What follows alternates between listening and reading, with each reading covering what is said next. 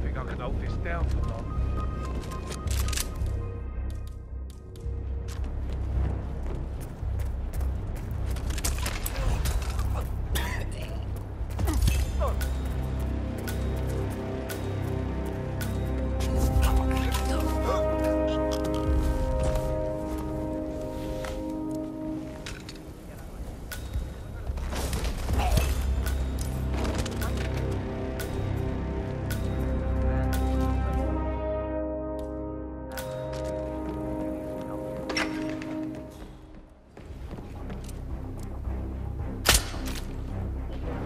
gonna hurl.